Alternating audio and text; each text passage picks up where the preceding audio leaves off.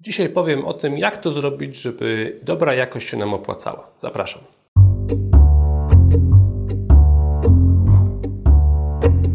Cześć, w dzisiejszym odcinku o ekonomicznych aspektach y, jakości i jak to zrobić, żeby ta jakość nam się opłacała. W wielu książkach znajdziecie informacje o tym, że należy dążyć do najwyższej jakości, y, stuprocentowej jakości, y, doskonałości, ale wiele tych książek pomija kwestie ekonomiczne. Zapomina się o tym, że w przedsiębiorstwie te, ta jakość musi mieć uzasadnienie ekonomiczne. I tym powiązaniem są koszty jakości.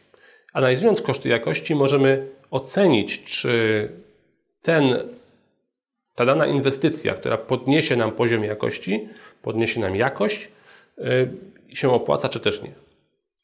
A więc, y, czym są w ogóle koszty jakości? Zacznę od definicji Jurana, który jest uznawany za twórcę koncepcji kosztów jakości. Y, jako jeden z pierwszych publikował ten temat już w latach 50. On stwierdził, że Koszty jakości to są koszty, których organizacja nie ponosiłaby, gdyby w ogóle nie było braków. A więc nie tylko koszty reklamacji, nie tylko koszty serwisu, nie tylko koszty napraw, ale też brak kontroli, brak szkoleń, brak innych rodzajów strat. Jest bardzo dużo rodzajów kosztów, których w ogóle nie zauważamy w kontekście jakości, a które są związane z niską jakością y, produktów albo usług. Nazywamy je ukrytą fabryką. Należą do nich zmniejszenie produktywności, nadgodziny, e, dodatkowe wyposażenie do kontroli, które musimy stosować, aby wyeliminować e, potencjalne braki, czas poświęcony na rozwiązywanie problemów, które powstają w trakcie realizacji produktów lub usług, w ogóle rozbudowany dział reklamacji, czy w ogóle istniejący dział reklamacji jest dla nas już kosztem jakości. Gdybyśmy nie produkowali braków, nie potrzebowalibyśmy działu reklamacji czy działu serwisu bo przecież wszystko by działało. Utrata reputacji, koszty utraconych możliwości. Mówi się, że jeden klient zadowolony przekazuje informacje o swoim zadowoleniu do czterech innych osób. Natomiast yy, niezadowolony klient przekazuje dziesięciu. I tych dziesięciu w ogóle do nas nie przyjdzie. Opracowano kilka modeli zarządzania kosztami jakości. E, najstarszym z tych modeli jest model, model PAF, opracowany przez Feigenbauma. E, nazwa bierze się od, od mm, trzech e, kategorii kosztów, które zostały w nim wyróżnione. Są to koszty prewencji, a więc koszty zapobiegania, koszty powodowania, że pewne braki nie będą w ogóle występowały. Więc podnoszenie kompetencji pracowników, wprowadzanie procedur, wprowadzanie specyfikacji, wprowadzanie metod jakoś, projakościowych, które ograniczają nam możliwość powstawania błędów. Drugi rodzaj kosztów to koszty oceny, a więc y, koszty kontroli, koszty audytu. Trzeci to koszty braków, a więc y, reklamacji, napraw, złomowania i innych tego typu działań. Z tych trzech rodzajów kosztów chcemy ponosić co najwyżej koszty prewencji. E, pozostałe koszty są dla nas czystą stratą. Pamiętajmy, że kontrola nie tworzy wartości dla klienta. Klient nie jest skłonny więcej zapłacić za to, że więcej kontrolujemy jego produkt. On, jemu to jest obojętne. Moglibyśmy w ogóle tego produktu nie kontrolować pod warunkiem, że byłby on dobry. W modelu PAF zakładano, że optimum poziomu jakości jest niższe niż 100% jakość. E, dlatego, że uważano, że e, koszty mm, prewencji i koszty e, oceny będą rosły logarytmicznie i w pewnym momencie przeważą korzyści z tytułu ograniczania kosztów braków. W związku z tym wskazywano na pewien poziom optymalny kosztów jakości, do którego należy dążyć. Ten poziom powinien być określony w każdym przedsiębiorstwie. Jednak współcześnie krytykuje się ten model, Y, ponieważ zauważono, że to założenie teoretyczne wcale nie jest tak do końca prawdziwe. Jako pierwszy bodaj Schneiderman y, zauważył, że te koszty prewencji i oceny wcale nie dążą do nieskończoności, y, ale są skończone, a koszty braków możliwe jest osiągnięcie ich zerowego poziomu. A więc nie będziemy dążyć do jakiegoś optimum, tylko będziemy dążyć do stuprocentowej jakości, której te koszty będą najniższe.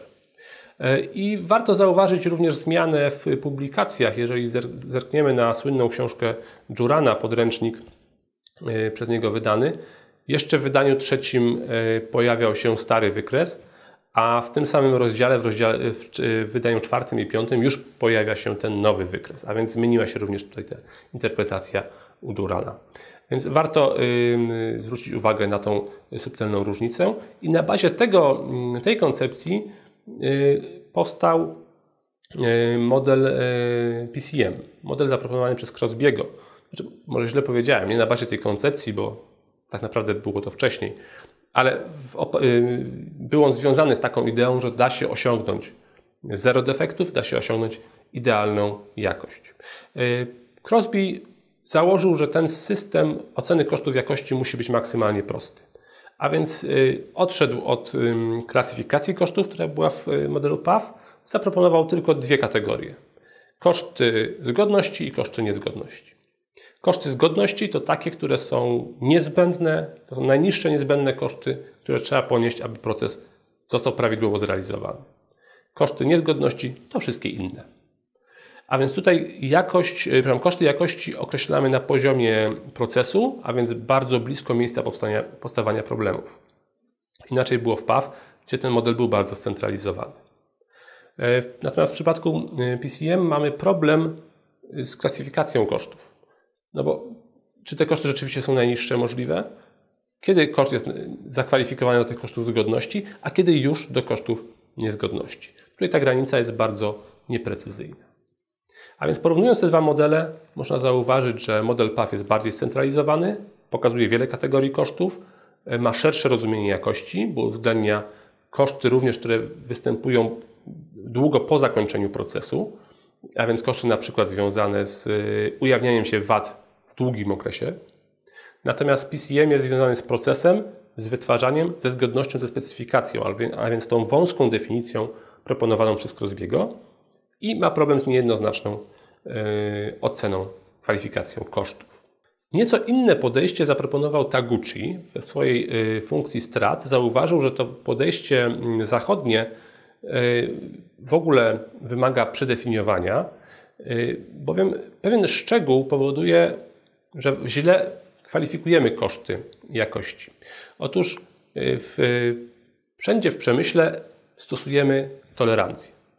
Stosujemy pewne przedziały tolerancji, w których nasz produkt uznajemy, że jest zgodny.